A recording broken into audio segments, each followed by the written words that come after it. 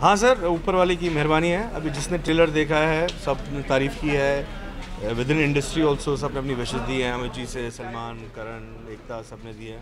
तो बहुत खुशी हो रही है और प्रेशर पड़ गया अभी कि इनकी जो, ये जो विशेष हैं उस पर खरा उतरना हमने। बट रिएक्शन बहुत ही अच्छा है?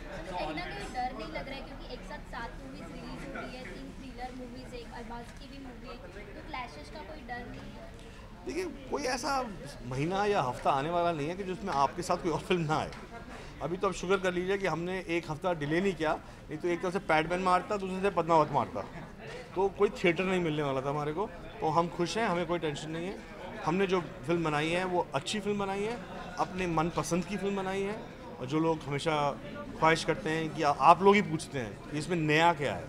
हमने नई फ़िल्म बनाई है और I am very happy with what we've done और मुझे 100% परसेंट कॉन्फिडेंस है कि जो ऑडियंस है जो युवा लोग हैं specially they will really enjoy the film तो प्रेशर किसी बात का नहीं है अपना 100% परसेंट मेहनत से फ़िल्म बनी सर स- अ, अमित जी का जहाँ तक कहना है जब मैंने उनका ट्वीट पढ़ा तो मेरी आँखों में आँसू आ गए थे।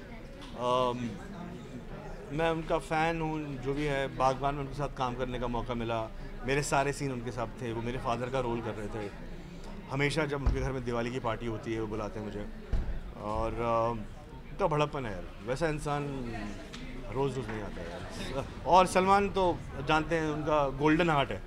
वो किसी का भला करना चाहें, अगर कर सकते हैं तो ज़रूर करेंगे। तो मुझे दिवाली पार्टी में मिले थे, उन्होंने कहा था सलमीर क्या चल रहा है? मैं कहा, बॉस, एक फ़िल्म बना रहा हूँ मैं। तो कब रिलीज़ है ये? अच्छा भेजना मुझे लिंक, मैं ट्वीट करूँगा। इससे बड़ापन क्या हो सकता है यार? करण जौहर ने हमारा जो पोस्टर था, वो लॉन्च किया।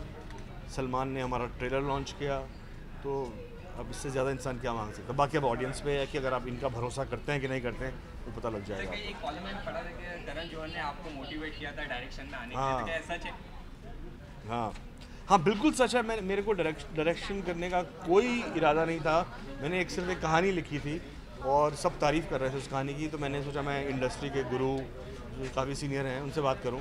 तो मैंने करण को ये कहानी सुनाई और वो पहले इंसान थे उस कहानी सुनते ही बोला, समीर, तुम्हें ये फ़िल्म डायरेक्ट करनी चाहिए। तो वो कीड़ा उन्होंने डाला। फिर मैं सोचने लगा कि अगर मैं कभी ज़िंदगी में फ़िल्म डायरेक्ट करूँगा तो इसी कहानी को करना चाहूँगा, क्योंकि मैंने खुद लिखी है।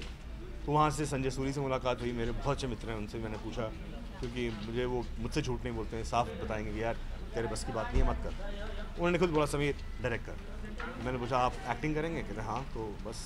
और हम दोनों ने मिलकर प्रोड्यूस भी कर दी फ़िल्म क्योंकि हमें डर था और प्रोड्यूसर ऊपर आएँगे तो कोई बोलेगा, एक आइटम सॉन्ग डाल दो, एक एक्शन सीक्वेंस डाल दो, एक ये कर दो, एक ये कर दो। हमने कहा, यार, हम जैसी फ़िल्म बनाना चाहते हैं, वैसी बनाएँगे। अब बाकी जनता करेगी